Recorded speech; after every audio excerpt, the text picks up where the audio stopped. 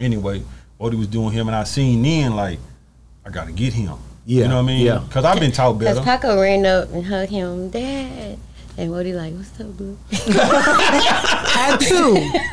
Wow. A regular I tell two year old would have ran to you. He been live. Yeah, we on Boss Talk 101. 101. Yeah, we gonna talk. It was Paco, then Tory, then Woadie. Woadie. So when I left at 18, I was going to Sam Houston High School at the time, and uh, yeah, I went to penitentiary for two years. Come home. About that time,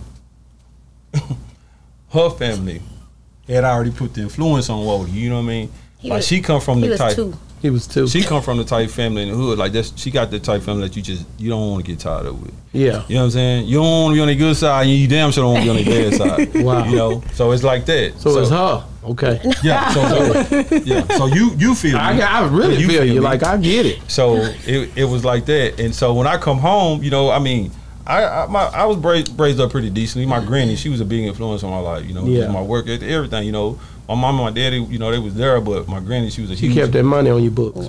Who? Your granny. Nah. No. She didn't keep no money on your book. Did she write you the letters? Now she she did the choice where it's either help you or help your kids. Yeah. Oh, And that's how my That's mama dope. was. That's, That's how dope. my Okay. mama was. So like my my when I did that two years, I, I seen my mama like twice. Yeah. Because she financially she couldn't do it, and then again she was helping me. I got three kids on the streets, so she helping you know them with the kids. What year was that? That was uh, from '99 to 2000. What? What? What? You? What, you? You went state? I No, was 2000 to 2000. Well, well, I'll take yeah. I left in January 2001 because I had already had three months uh, like Okay. back time. So, Yeah. Yeah. Yeah, they so, ran that yeah. with it. And and where did you go first? As far as the penitentiary, Yeah. Okay, first I went to I read.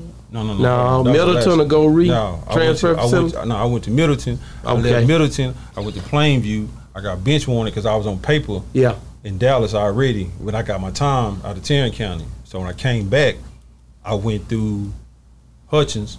Then I left Hutchins. I went to Yeah, they be doing that. Too. I think I went to was it Darrington?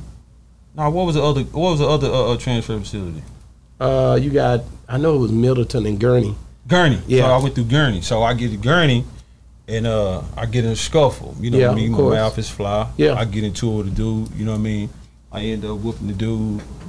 So You so- went to Gurney, so and Six Four was down there. That's my home girl. She worked down there. Yeah. Yeah, let, us get to it, nigga. Yes, Yeah, real yes, street talk yes. around it. Look, Stallion. You hear me? I'm talking about. yeah, Oh, yeah. wait, yeah. You, she yeah, was you- married to uh, Rambo. Oh, okay. Yeah, I heard, one I heard not- stories yeah, about yeah. that. Six Four was yeah. She was doing her thing down Yeah, there. for But that's sure. that was good eye candy when you locked up. Yeah. Look yeah. at he, he remember. Hey, boy, I'm talking about saying you shot me back right there. he remember. I be tripping. That's why it's Yeah. so crazy, man. Yeah. I might say it. Yeah. But I definitely, uh, I, I, yeah, six four. She she was one of those. Matter of fact, Yo. She's uh Nini's uh uh aunt, the, Trey's mama. Uh huh. That's her, one of her best friends. Okay. So she she lived in March, but she would work in down there in Gurney. Yeah, yeah, that's Yeah. So a that's how. Yeah. So yeah. It's a You know, small my, world. my daughter actually a prison guard right now. Oh, really? At a woman's At prison. a woman's prison down Okay. in Austin. Mm-hmm. Mm-hmm. Okay. So yeah, yeah. That that that's something that I tell her to treat those people right. I say you got some bad ones, but there's some good people in there too. Yeah. I say you know you just never know, man, who you gonna be dealing with, or you know, or what they might have been in, in there for if they of color. To be honest with you, a lot of them be wrongfully accused.